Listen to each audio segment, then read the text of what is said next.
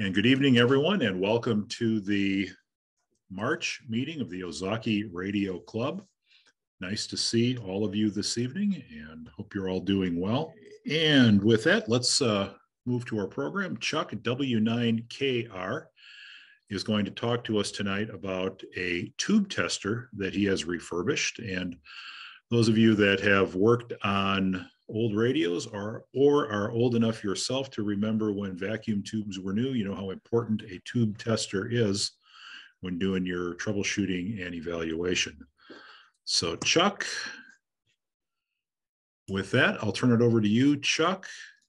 I, have been uh, very interested in vacuum tube radios since the 1960s.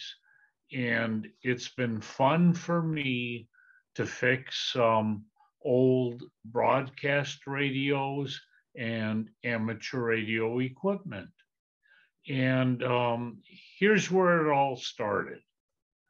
Uh, what I'm showing you is a very, very old um, emission tester uh, vacuum tube, tube unit. And um, I, I bought this for, oh gosh, 14 or 15 dollars plus probably 30 dollars in shipping. Yeah that's the way it works out. And uh, got that back in the late 90s and um, got quite a kick out of refinishing the cabinet, which was actually a nice wooden cabinet. Now, here's sort of the puzzle with this circuitry that was used. That uh, RCA 954 tube was used as a rectifier. And it supplied all of the uh, B plus voltage required to operate the tube tester. Um, that's a unique experience.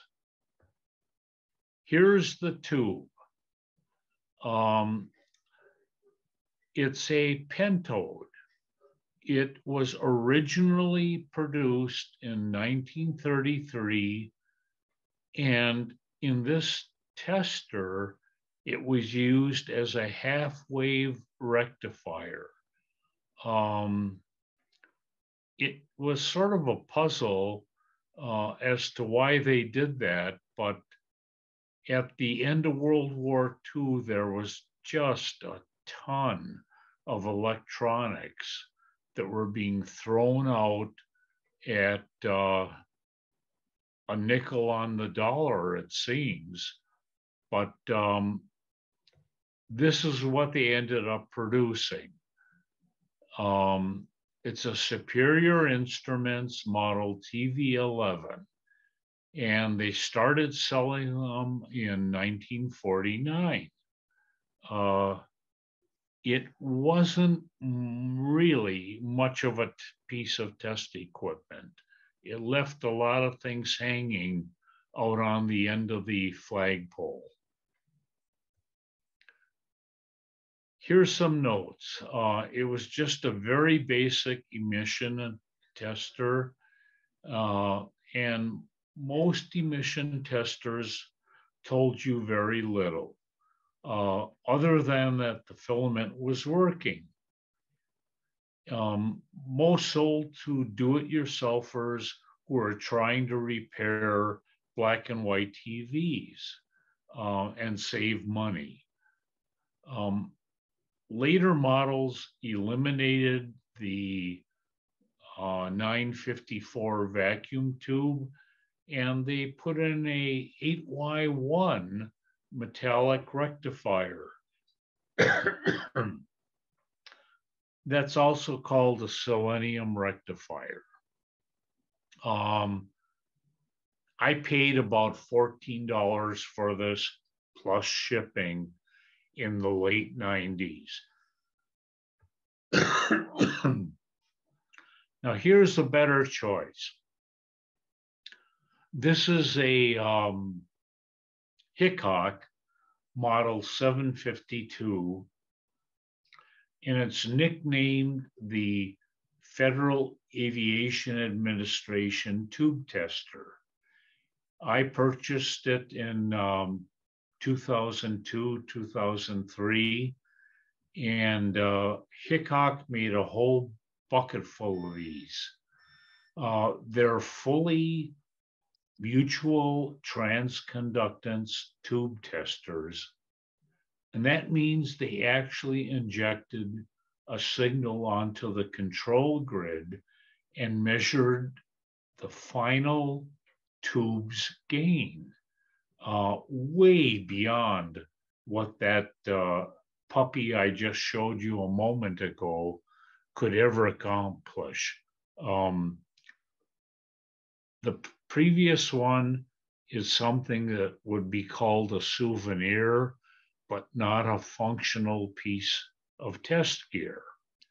Um, th- this this what I'm going to be showing you is a step forward. Um, the Federal Admin, uh, Aviation Administration wanted a special design, one that could test dual diode triode tubes with, without resetting the test knobs. So to test both triode halves, um, they had contracted with uh, Hickok to test typical triodes, 12, 18, oh, you see them there on the screen. Um, these 752 model testers were used mostly to test tubes removed from airport radar equipment. Uh, doesn't change anything. They still work phenomenally with the um, radio equipment and broadcast equipment that was uh, common during those times in the years. Now, if you look down at the picture and count over, the first triode could be tested by pushing down on the S5 button, and that would give you a response on the meter. And as long as you hold down that button and go over to the right and press down the S8 button, you would then switch over to the uh, correct connections and be able to test the second half of that dual triode tubes. Um, that's the only one they made and that was right around 1960 that those uh, first came out. Uh, take everything I say with dates with a grain of salt. Not all of this is going to be within 10%. Um, here's just a quick uh, picture of the oak case I brought uh, excuse me, bought in the uh, years after I originally purchased this. Um, a guy was selling them on eBay for around $175. And I don't know, I like pretty cabinets. So I bought one of these and uh, I've had it in there since 2004, 2005. I really don't remember when. Um, but this puppy, if you see the big white sticker in the upper left hand corner, uh, I shipped that off to a um, calibration agency in North Carolina, and they went through the whole thing. Um, and calibrated it, and uh, it really works nice. I've used this on Collins, S line, Collins, uh, KWS 1, 75A4, 75A2, um, all sorts of uh, equipment, and uh, very, very pleased with how well it's worked. Now, um, Pat, you asked me if I should uh, allow interruptions or questions. I'm not sure if I have to touch a knob, but if there's any questions at this point, please fire away, guys. Everyone is muted. So if you want to ask Chuck a question, just unmute yourself and start talking.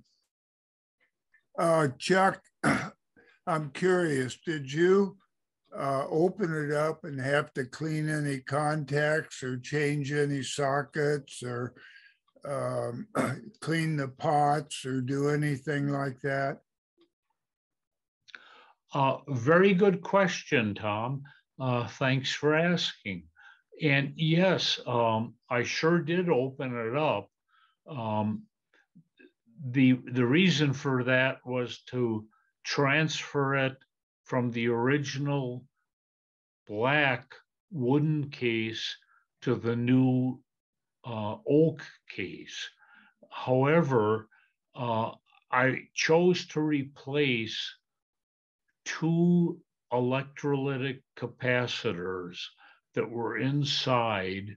I did spray the contacts with contact cleaner.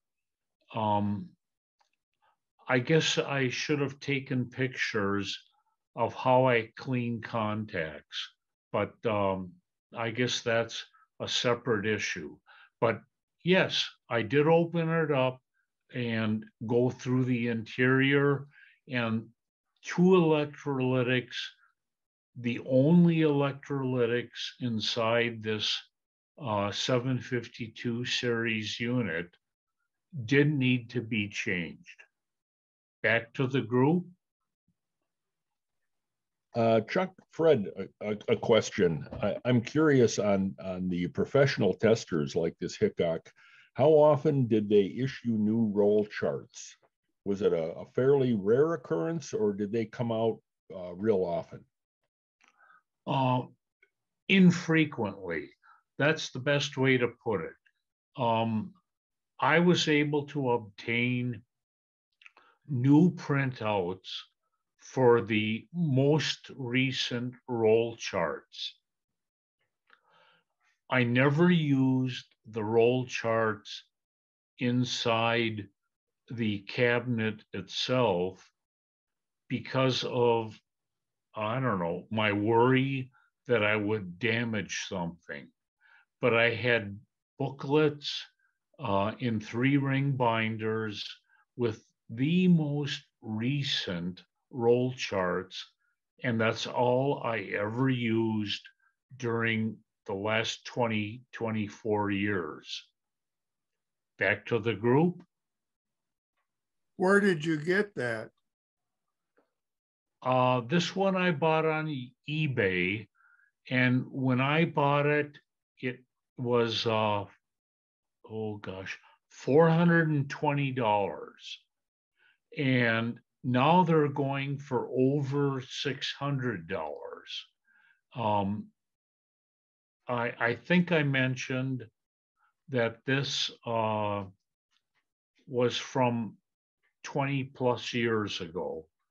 But uh, as you can see, it's literally spotless. There's not a scratch, a nick.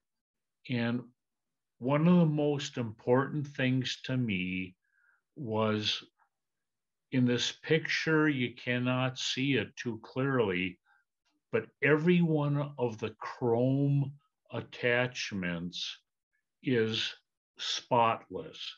There's no rust, no corrosion, nothing. I wouldn't have bought it if it had corrosion on it. I wanted good stuff. But this is the lower level tester that I have. with your permission, if there's no other questions, I'll go on to the next level. Uh, any other questions? Okay, I'm gonna jump on. Quick question, um, Chuck. Oh, gosh, no, I'm gonna go back. Okay, go ahead with the question. Sorry, just curious where you got the case from, the wooden case. Um, good question. The, the, there was a guy selling them in between 2000 and 2005 uh, on eBay. And I paid $175 plus shipping for this case. And it was immaculate. And um, I wasn't retired yet then, but just felt like, okay, I'll spend that money and get this old case. It's beautiful. I still have the original case, and I'll talk about that in three to five minutes. Next question.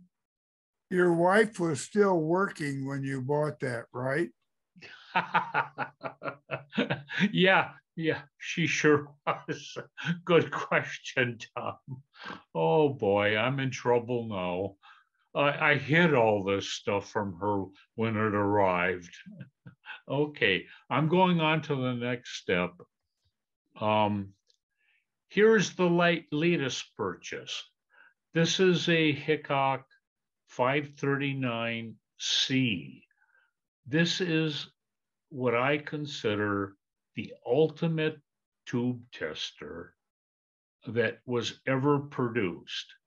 Okay, that, that's a personal opinion. There's Triplett tube testers, Stark tube testers. All three brands were mutual transconductance testers. Um, this one I got in early June of last year.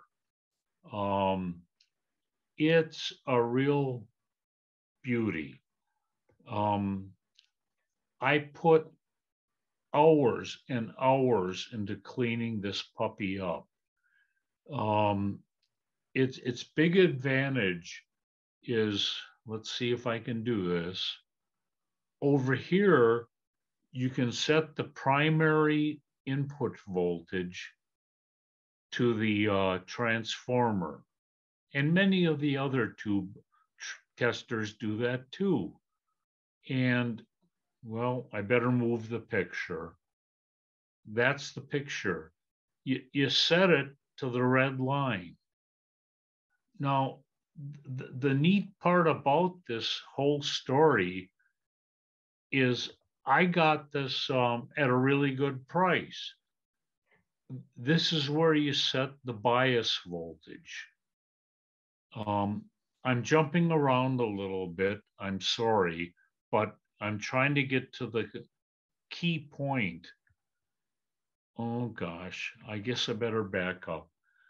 Uh, when the guy advertised it, he advertised it as something is wrong. And he said when he put power to it and set this input to the power transformer and then tested the line voltage, they had two different numbers. So he said repairs are required. Well, he was totally wrong.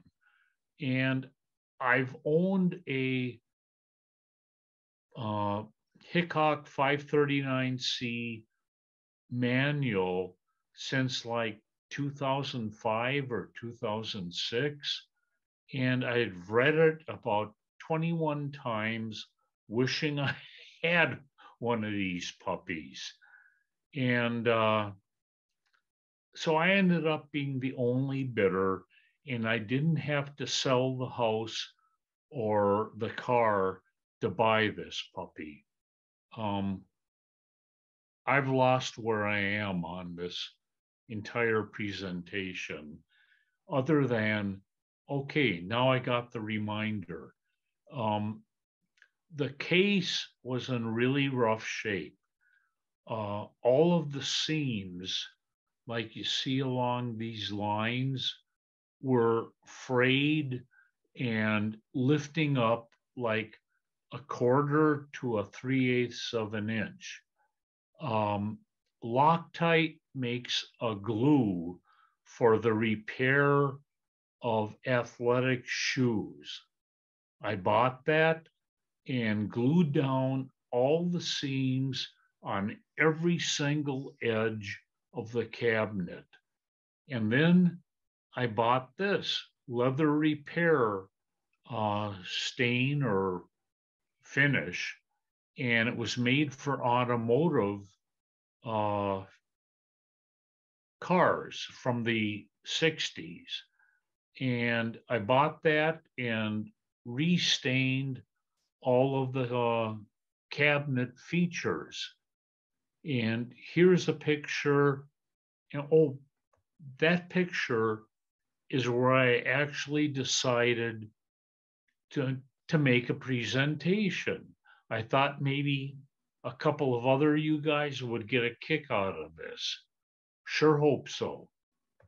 And here's where I finished the third coat of the black dye uh, on the material called Tolex.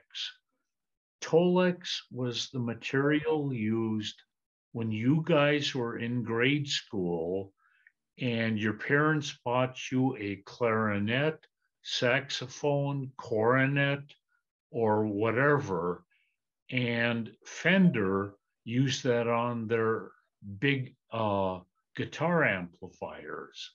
And obviously, Hickok used that also. And here's um, after the third coat and after the um, uh, oh gosh, I guess I missed that. I don't know where I am. Here we go. The top coat. Um, the finish that I achieved did not match the um, original Hickok. And this stuff, they gave you a choice of a low gloss, mid gloss, or high gloss top coat. And so this was a mid gloss requirement. I put it on and it really did a great job of matching. But going back, now, do you see this mess up right here? Oh gosh, I got yelled at by dozens of people. But that patch is something I carefully removed. Oh gosh, I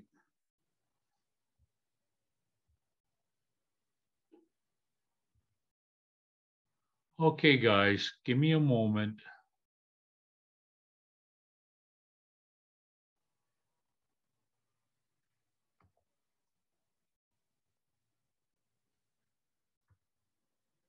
All right, I found myself where I am. Do you see that little blue sticker? That's what I peeled off the original um, Hickok cabinet I was able to use that uh, previously mentioned shoe glue that uh, I used to fix all these seams and went on from there. Um, apologize for my clumsy use of the forward and backward bump buttons. Now, inside the cabinet, there were only two things I had to do. I, I replaced this electrolytic capacitor and a second one that you can't see, but it's hidden down in this area. And uh, these are accessories. over the last 22, 24 years, I collected a lot of um, vacuum tube testing accessories. Uh, let's see. Here, here's for you test a tube, it tests good, and you plug it back in, but the friggin' radio still doesn't work. Um, these are extenders.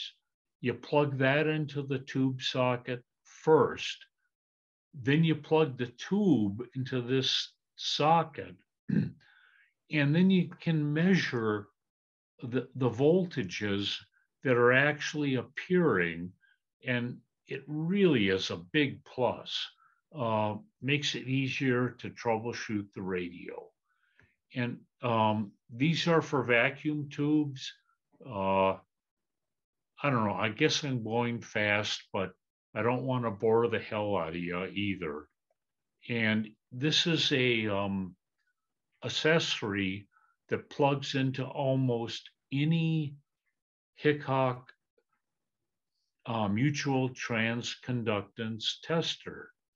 Here are manuals for about eight different testers, and they're for compactrons and NuVistors. I better hurry up or I'm going to get thrown out of the barrel. Um, why do you have a tube tester? Well, you can use it to stack your shoes on. It's a great cabinet. Oh, you can fill the empty cabinet with money, or like I do, actually use it to test tubes and old radios. Here's what I started with. That's a shipment I got last uh, October. And it's a Essex Hallicrafters, SX62A. And uh, it's out on my workbench. And there's a bucket full of tragically flawed capacitors. All those pink puppies, um, they need replacement. So I replaced them all and uh, went on from there. I uh, chose to use a Variac and an ammeter and obviously the plug to originally test the radio because I was told it drew significant current. Um, and I had already replaced all coupling capacitors and all electrolytic capacitors. And um, it, it turned out okay. Now, I reversed a couple of slides here so the um, uh, verbiage up at the top is out of sequence, but uh, it took me four attempts to properly um, install a new line cord. And that's because of an error in the Hallicrafters manual. They said place the um, uh, tuning capacitor in the fully meshed position and then string the land cord, a line cord, excuse me. Well, maybe I should have said dial cord. And that was opposite of the correct way of doing it. You needed to have the um, tuning capacitor fully open. Well, wasted a lot of line cord in getting to the right point. Um, I've been babbling incoherently here for the last seven, eight minutes. Uh, were there any questions that might be appropriate at this point in time? I have a question, Chuck. Um, you and I have talked about tube testers a little bit. I have two of them.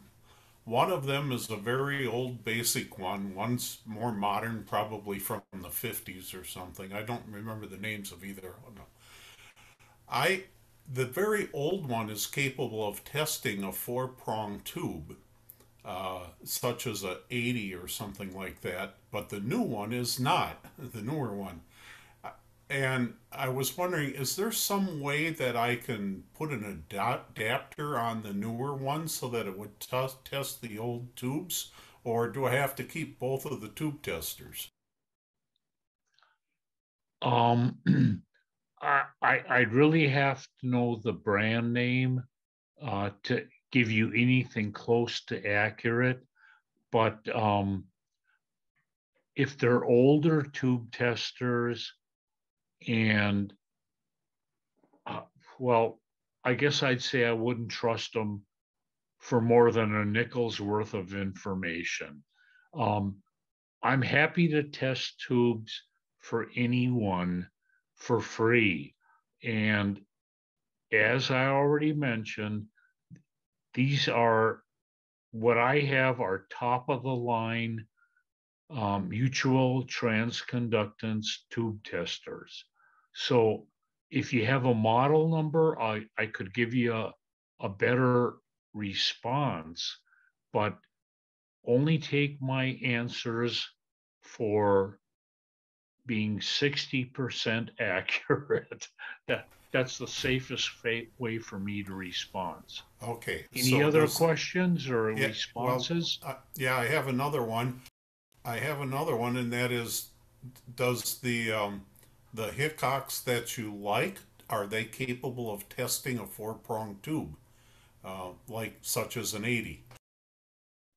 Um, yes, the the ones that I have, but um, you, you better go and mortgage your house to buy one.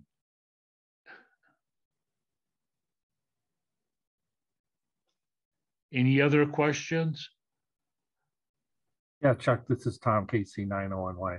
So like, like that radio that you have there, is this, you got shipped to you. Are you fixing radios for people or is this just uh, club members or, or what are these radios that you have there?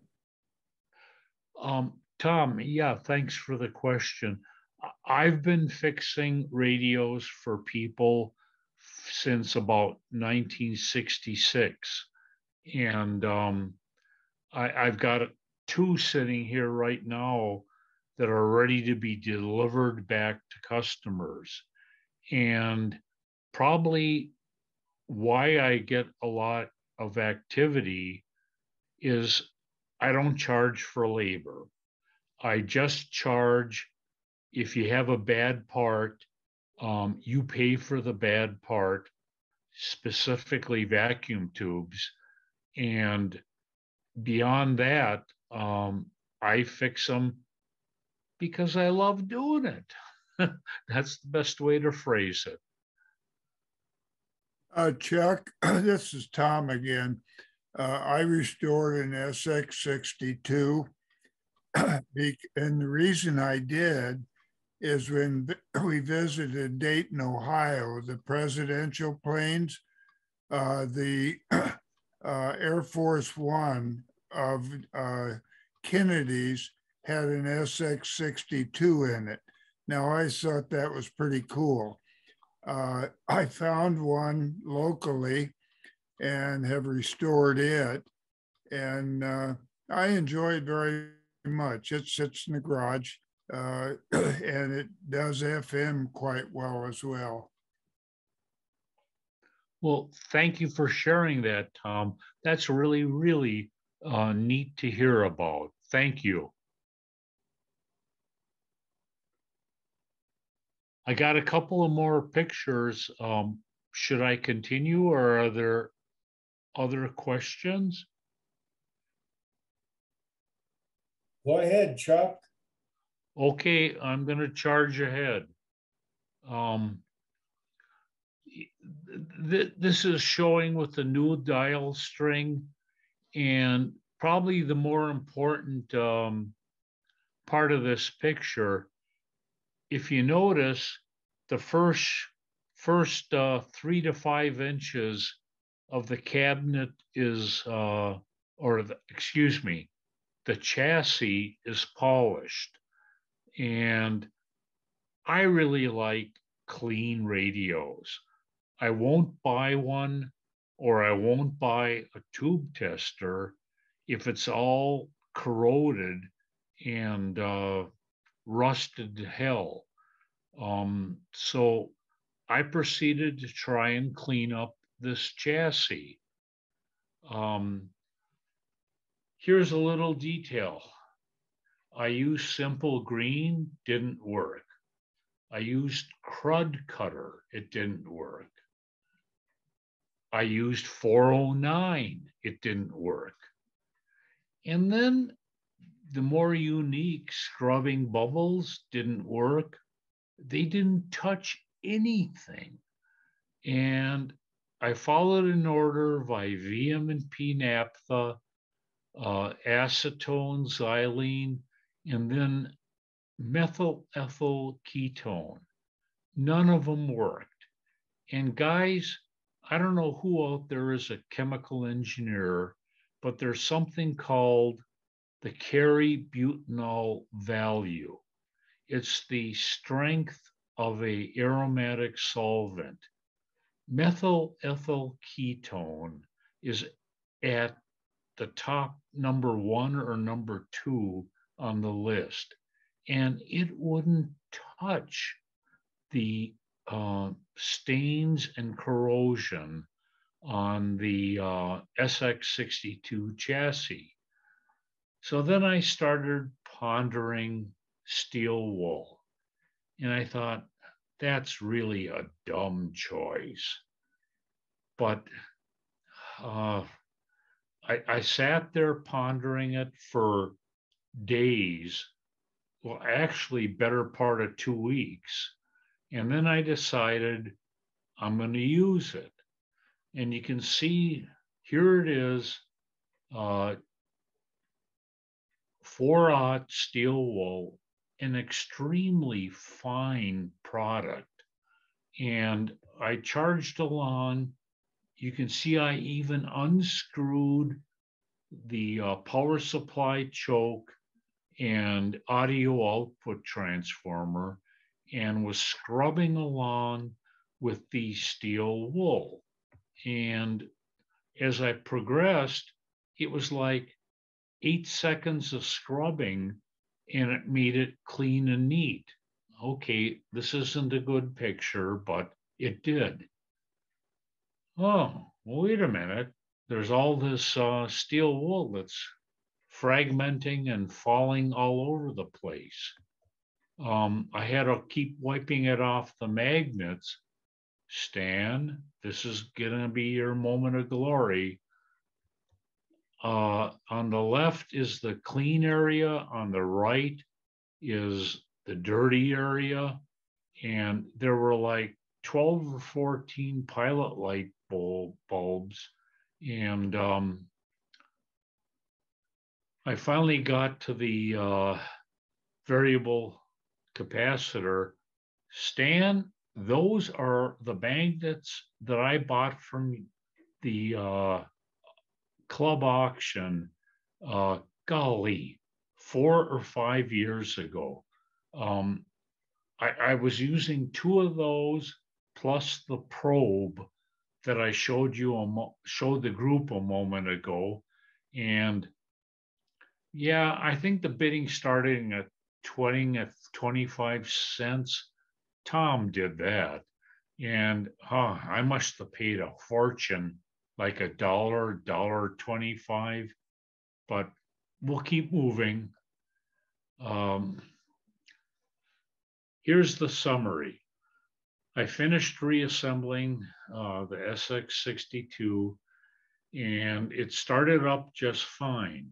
Um, the um, amp gauge showed no issues with the power supply drain. Uh, the radio worked immediately on AM, so I was happy. I then switched band. Uh, I went up to FM, worked perfectly. but as I switched bands back down, I thought I heard some arcing. Yep, I sure did.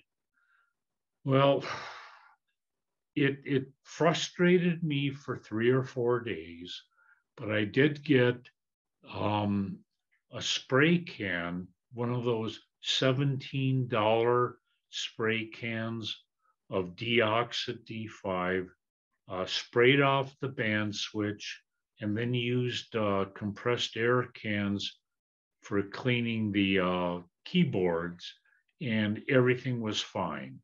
So it worked out. Um, that's pretty much the end of my story, other than the refinishing. Uh, this is a front plate, a item that I sanded down, sanded off all of the silk screened activity, and then I made decals for it. Um, and uh, I applied the decals, then sprayed the assembly with clear lacquer, and bingo, here's what it looked like at the end. Um, that that's something that I was really happy with. Now, th- this is a messed up sequence of events, uh, several verbal errors, um, but here it comes. Um, I've got this all set up to do the RF and IF alignment. I'm going to show you a little bit of it. Um, using a, another radio uh, today, it's a six tube with an RF amplifier. Um, over here, I've got a um, Hewlett Packard 8656B as in Baker RF signal generator. And I do have it set for the IF frequency 455 kilohertz. And yesterday I did three of the four transformers and uh, I selected a minus 30 dBm for the output frequency. And that worked out real well. Now over here, I'm going to select AM for the uh, modulation and we'll run it up to 50, 60%. Uh, that worked pretty good. now, over here, you can now hear it. That's the um, 1000 hertz modulation uh, signal. And the RF signal generator allows me to connect a external uh, frequency input if I want to do something other than 400 or 1000 hertz for modulation. So now I'm going to try and uh, get my probe uh, connected and got to use a headlight here.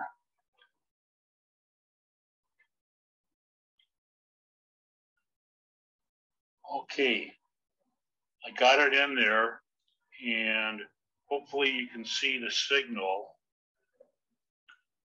I'm turning the wand and you can see it growing. So it was a little bit off. Okay. Uh, I went past the peak and backed up and uh, that's all there is to doing a RF and or IF alignment. And this is the last step in the four step IF alignment on this particular radio. End of story.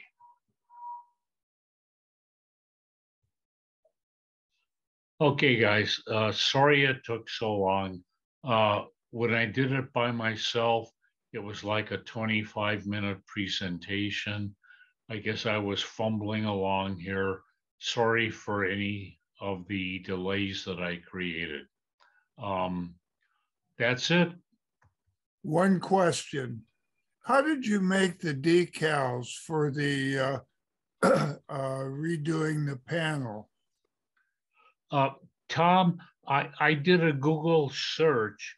I, I've done this twice in the last 20 years or so.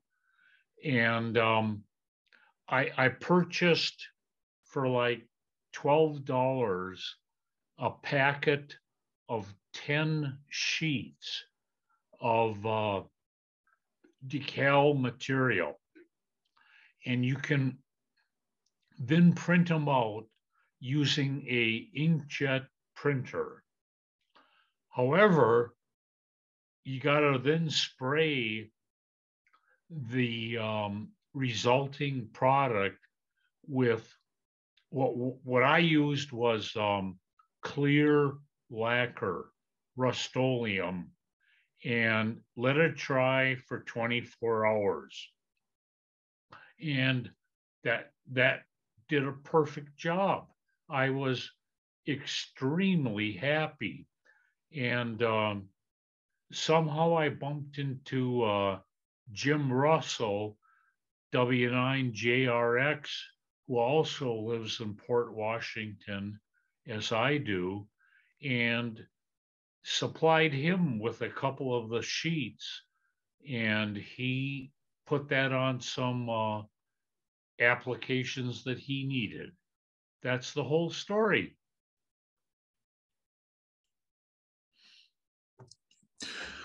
There's a company called Radio Daze, spelled D A Z E, that uh, makes decal sets for some radios. I don't know if they have them for the SX62 or not, but uh, they do make them for a lot of radios for just the situation Chuck was describing when you have to refinish and you have to take the silk screening off. Uh, they're not real expensive, but they um, and they will uh, keep you from having to come up with your own artwork or find some artwork somewhere and uh, they they're pretty easy to find. So if, if you're thinking about doing that, you you do have a couple of choices of uh, you can make your own, or you can uh, buy a set ready to go. So kind of interesting. Okay, very good. Thank you, Chuck. And let's hold it uh, there with the questions and get to the business portion of the meeting. And then, Chuck, if you're going to be around uh, after the meeting, we can set up a uh, a uh, breakout room and see if anybody has any more questions. Very good. I'll be here. All right, thank you. So nice presentation. Thank you.